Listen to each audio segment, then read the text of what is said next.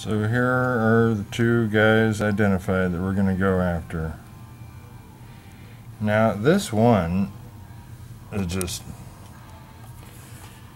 seemed like a fairly obvious spot to see.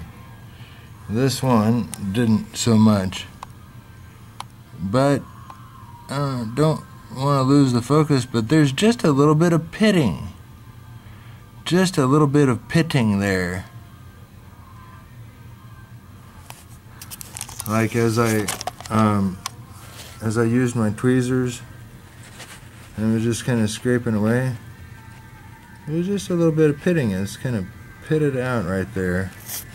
And uh, the doctor says a lot of times there's a, will be a cauliflower appearance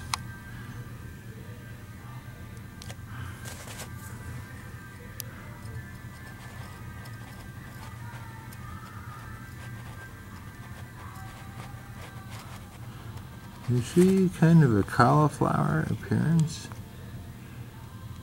of this little ball of tissue. Just kind of roughened up. Just kind of roughened up. Anyhow, those are the two spots that we're going to treat. They've been identified. And the next step is I am going to scrape away with a knife. I'm going to excavate. Why am I going to excavate? I'm going to excavate because the wart is hiding down in the bottom layer of the dermis, uh, the third layer of the dermis.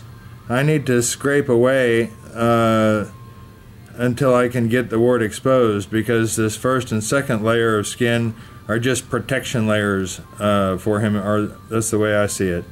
Okay, so we'll excavate with the knife.